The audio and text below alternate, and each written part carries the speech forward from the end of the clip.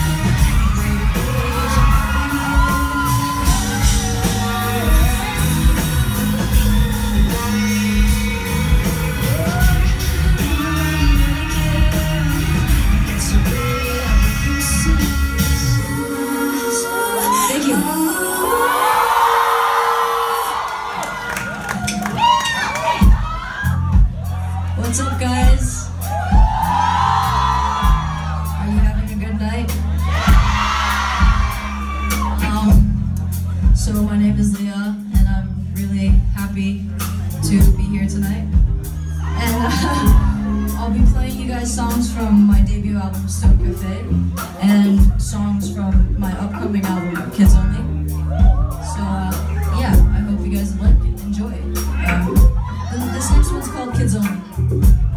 It's a new song, so I might mess it up.